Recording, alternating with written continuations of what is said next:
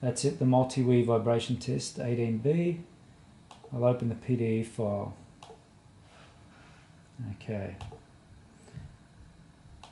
Alright, now what I've done, just gone through quickly and I've um, gone to configuration file and just go and define the tri.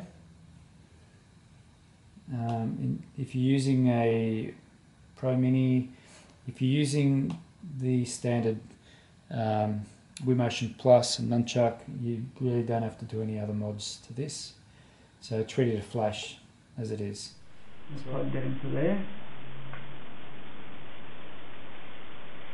Uh, plug it into the USB port. And I'm just going to flash this now. To flash it, you just press the upload button. And because my Zibi um, dongle doesn't have a reset, I have to hold down the reset on the Arduino. So just hold it down.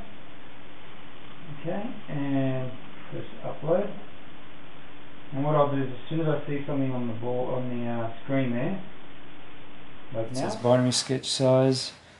I let the uh, the uh, reset go and it goes in flashes. So just keep an eye on this area, and it said it's done. Okay, so I can get out of that now. Okay, and I'll fire up the the Java GUI. Okay, I'm using um, version 1.8 beta 2 um, patch 2 sorry. Now I'm not sure um, if it will work with later versions but because the uh, the sketch was a 1.8 version I thought I'd use this. Okay I'll just connect up to COM6 give it a few seconds. And I'll press the start button. Keep my fingers crossed. Yes. Okay it's reading. Cycle time is about 6000 with the nunchuck connected. Um, you'll notice here on the debug 4 it's a 0 which means zero motors are configured. So you start off with your throttle down. You use the rudder and I'm on mode 1 here. And you can see that that's changed to 1 so motor 1 will now fire up if I use the throttle okay motor 1 in this case is the rear motor so you can see that going what I'll do is I'll change the scale okay and I'll set it to full and that'll give us an idea of what sort of vibrations we're getting.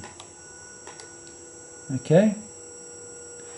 Now I'm going to fire the throttle up to about 1460 over here.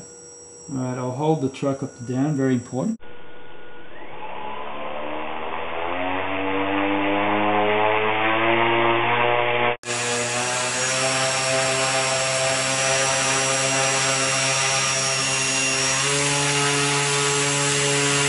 you can see the vibrations there, look pretty awesome.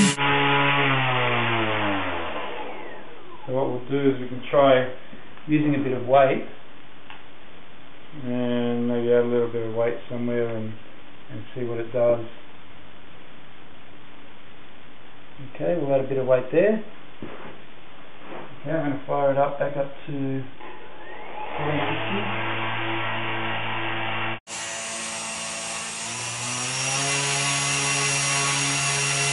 Okay, so that hasn't done much there.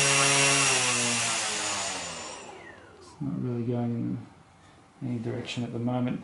But just wanted to show you now, um, we can switch over by using the rudder again. And see how we've selected the next motor. And again, we could do the same thing for, for that motor there. Go up to 1450. whatever you're comfortable with as long as it's the same. And then we can have a look at um, kind of vibration. You can see it's a lot better than what the rear motor is. So the idea is to get them all down to that level. Okay, so once we get all the motors down to like minimal vibration, then yeah, we're going to get some really cool video footage. Okay, so I've had a little bit of a play around and I've put a little bit of weight right there so just have a look at the difference we get in the screen now. Okay, now I'll also lift it off the ground so there's no interaction from the ground. And I'll take it back up to 1460. And you, you can see that's a lot better now.